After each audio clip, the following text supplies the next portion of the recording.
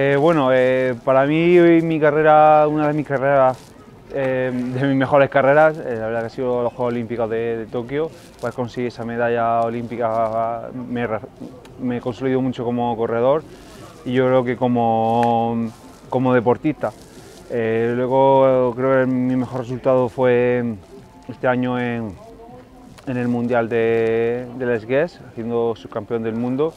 Y esta temporada, al final, para mí estas dos últimas temporadas han sido mis mejores temporadas en todo, todo mi ciclo deportivo. Y, bueno, nos, nos esperan dos años por delante los que intentaremos hacer todo lo mejor posible.